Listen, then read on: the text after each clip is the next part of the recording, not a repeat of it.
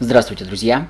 Здесь Демитков Юрий, и сегодня я хочу рассказать о биткоинах и, как в частности, и о криптовалютах вообще. Дело в том, что э, регулярно вижу всякие сообщения, видел, что вот биткоин такая штука, покупай, покупай, покупай, и вообще вот ну, а когда я пытаюсь задать вопрос, а что же такое биткоин, все говорят, блин, что ты, сказать, как бы глупости какие-то спрашиваешь, берешь, покупаешь за 200 рублей, завтра у тебя 2000, вот и все.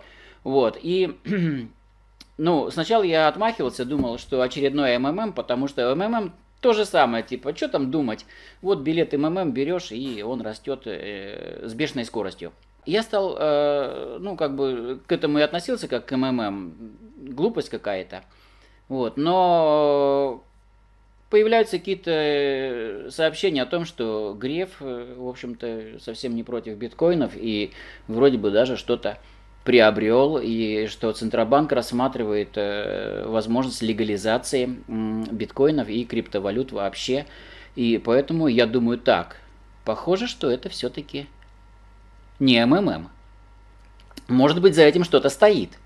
И я стал искать в интернете, что же такое биткоины, что это такое вообще. Э, и выяснил, что на самом деле действительно э, между биткоинами и криптовалютами и МММ в принципе очень мало общего, очень мало.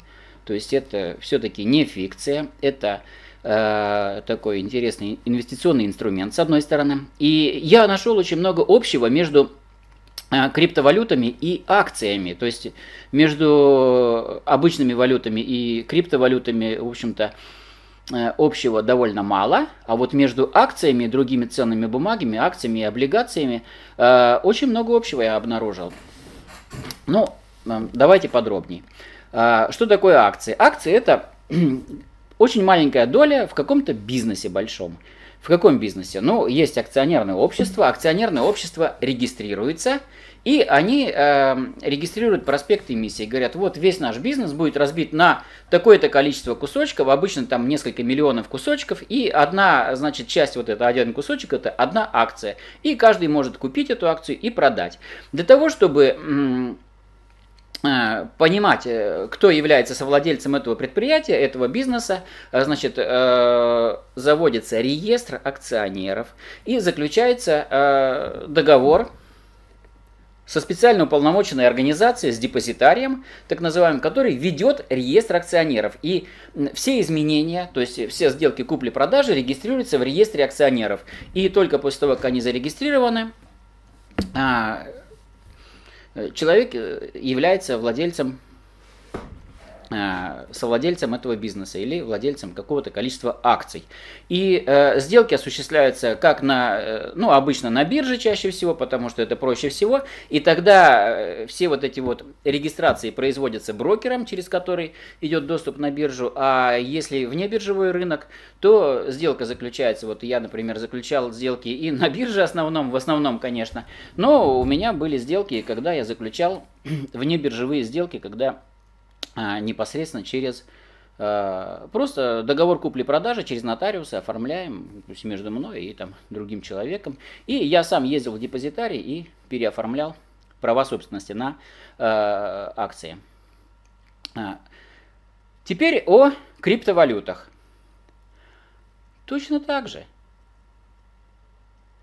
Кто-то кто это может быть? Да кто угодно, так же как с акционерным обществом. Кто угодно может организовать акционерное общество. Кто-то регистрирует криптовалюту. У криптовалюты у каждой есть название, как у каждого акционерного общества. Это э, э название криптовалюты закрепляется. И э, когда акционерное общество также ну, ведет реестр акционеров, то здесь реестр ведется по технологии блокчейн. Вот это основное. То есть реестр э, ведется не уполномоченным какой-то организацией, а в сети. И э, сделана такая технология, что подделать э, ну, практически невозможно. Все говорят, что подделать криптовалюты невозможно. Вот это самое главное достоинство.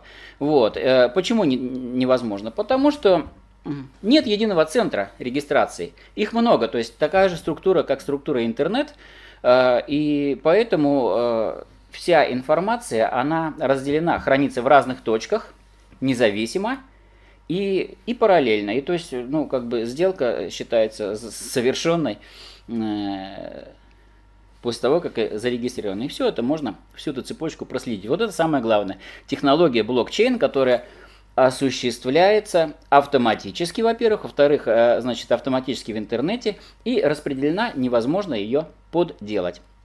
Вот. И, э, соответственно, есть, так же как э, для покупки акций есть уполномоченные лица, брокеры, также в сети есть какие-то вот уполномоченные, ну, какие-то центры, ну, то есть как бы сайты, э, на которых можно спокойно купить или обменять. Точно так же, как акции, вы можете на бирже купить или э, продать акции по определенному курсу. Точно так же вы можете э, купить или продать валюты. А, теперь о разнице между акциями, там, облигациями и криптовалютами. А, я уже сказал, что буквально каждый может зарегистрировать свою криптовалюту. Вопрос, э, самый главный вопрос для меня всегда был, это чем она обеспечена, криптовалюта. Вот, и чем обеспечены акции? Я всегда могу посмотреть. Дело в том, что акции, когда э, бизнес какой-то вот регистрируется как акционерное общество, этот бизнес обязан удовлетворять определенным условиям. Это оговорено.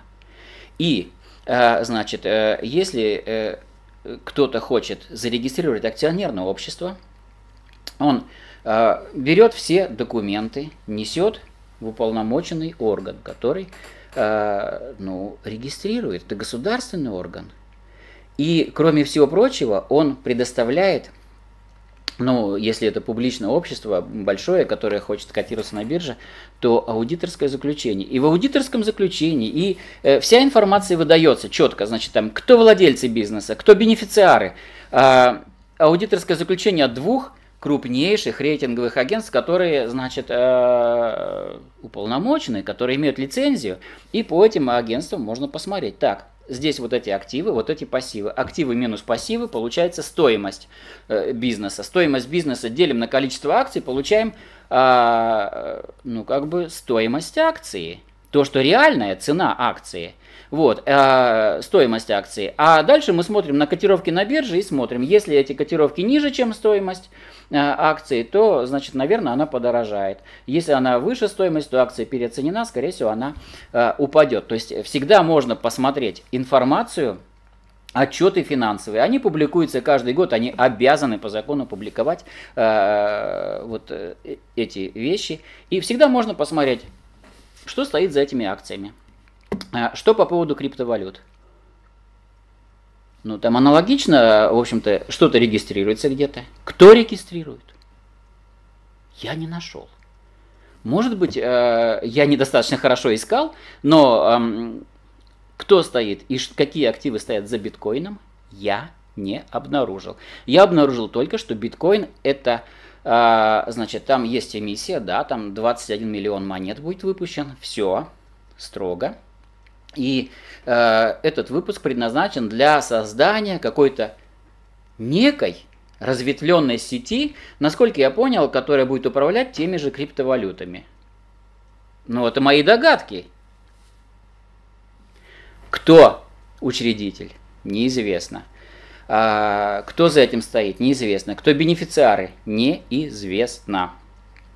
Но зато известен курс. Вот.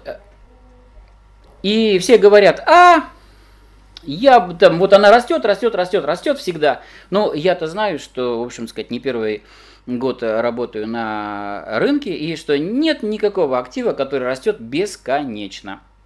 Конечно. И э, проверить, вот, чем обеспечен курс, невозможно. И э, я говорю, любой, то, то, есть, ну, есть огромное количество уже разных видов криптовалют. Э, разных там. Ну, самый популярный это биткоин, естественно, и S-Trade, по-моему. Вот, э, S-Trade это платформы, которые занимаются, ну, какой-то осуществляют торговлю какую-то, судя по всему, этими же криптовалютами. Фермер Шляпников известный достаточно личность. Вот э, он сначала вводил свою собственную валюту, э, калионы, а потом, э, когда их запретили, он решил э, создать криптовалюту калионы. То есть, пожалуйста. И, ну, по крайней мере, фермер Шляпников говорит, что мои калионы обеспечены там гусями, вот, э, картошкой, там, еще чем-то, вот, мясом. То есть здесь все понятно. И, ну, он рассказывает о чем. Но опять же, э, чем он может подтвердить вот свою платежеспособность? Гусями, картошкой и так далее. Но э, никаких независимых оценок этому нет. Это просто надо вот верить э, товарищу Шляпникову. Да, и давайте посмотрим на курсы биткоина, которые непрерывно растут. Вот э, сейчас я специально открыл сайт investing.com, это солидный ресурс, который э, э, про инвестиции. И вот вы сейчас видите э, график э, стоимости биткоина месячной. И вот здесь отчетливо видно, что в 2012 году биткоин, так сказать, там как-то не очень был ну, он упал в 2011 году. В 2011 году был резкий взлет, потом было падение, и долгий такой э, э, после падения период. И вот в 2013 году начинается рост, рост, рост, рост, рост, рост, рост. В 2013 году, в ноябре 2013 года, с октября по ноябрь 2013 года очень резкий рост был, и потом такое же падение, достаточно резкое. Потом, значит, 15 год и так далее были достаточно а, такие кислые. Вот. А далее а далее был снова вот в 2017 году бешеный рост, но сейчас вот это месячный график, а, сейчас я дневной график включаю. И вот мы смотрим, что после того, как биткоин достиг буквально совсем недавно, 24 мая, пика, значит, после этого он э, начинает падение. И давайте посмотрим вот здесь рекомендации, техническое резюме и рекомендации. На основе технических индикаторов продавать, продавать, активно продавать в течение часа, активно продавать, активно продавать, активно продавать и так далее. Вот, и, ну, как бы получается, что такая же ценная бумага, как и все остальное. Вот давайте часовой график я покажу. Вот он, часовой график. То есть, э, есть котировки, они растут, они падают. Чем они обеспечены? Не по Понятно. То есть, если вы вложитесь в биткоины, то вовсе не обязательно, что вы заработаете бешеные деньги, точно так же, как и в акции. А, точно так же, как с акциями, вы э, имеете достаточно большую степень риска э, эти деньги либо заморозить, либо потерять. И самое печальное, что информация о том, что за ними стоит, э, ну, э, обнаружить очень сложно. Вот э, то, что я нашел, по крайней мере, э, для себя, что такое биткоин и э, что за ними стоит и что стоит за криптовалютами. И резюме такое, что криптовалюты, да, это практически такой же вид ценных бумаг, и что их можно покупать и продавать, но когда вы покупаете и продаете валюту, вовсе не обязательно, вот криптовалюта, вовсе не обязательно, что вы получите свои деньги обратно, и э, ну, на свой страх и риск. Я хочу сказать, что это видео отражает ну, исключительно э, то, что нашел именно я. Я пытался найти для себя, я рассказываю это. И э, наверняка моя картина будет неполной. Я думаю, что это видео посмотрят люди, которые занимаются криптовалютами. И э, наверняка у них есть дополнение. И э, я с радостью э, выслушаю вот мнение других людей, потому что, ну, мне это интересно, я хочу разобраться до конца, потому что я э, пока еще не до конца не разобрался. Поэтому я призываю вас, во-первых, э, оставить в комментариях, э, где-то я ошибся, может быть, какие-то неточности, что я сделал не так. Э, если вы заметили, пожалуйста, напишите об этом, я буду очень рад, потому что я хочу действительно разобраться. Если вы поделитесь этим видео э, с кем-то, вот, ну, из других специалистов, кто может мне помочь разобраться дальше, и не только мне, а и моим зрителям, которых уже, э, ну, по-моему, около тысячи человек, то я буду очень благодарен. То есть комментируйте это видео, смотрите, делитесь с друзьями. И э, прежде чем инвестировать, я советую всегда подумать. На сегодня все. С вами был Демятков Юрий. До встречи. Подписывайтесь на мой канал.